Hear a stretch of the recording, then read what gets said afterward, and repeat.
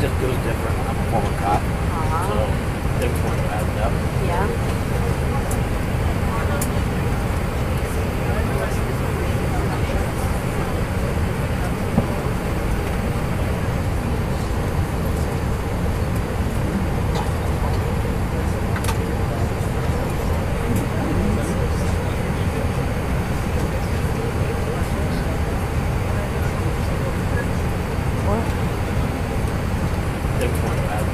Yeah.